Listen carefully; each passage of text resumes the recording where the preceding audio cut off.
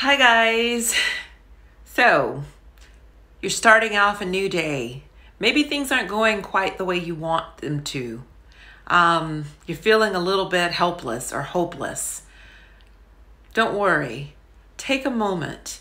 Visualize someone that you really truly love. Transport yourself into the company of that person.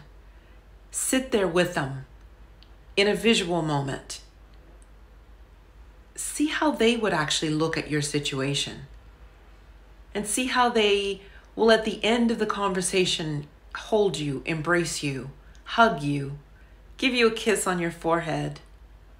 But visualize someone that you love.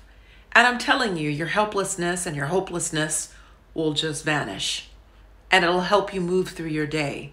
And no matter how many times you've got to do that during the course of the day, do it if it helps you get through whatever you're going through. I'll see you on the next one.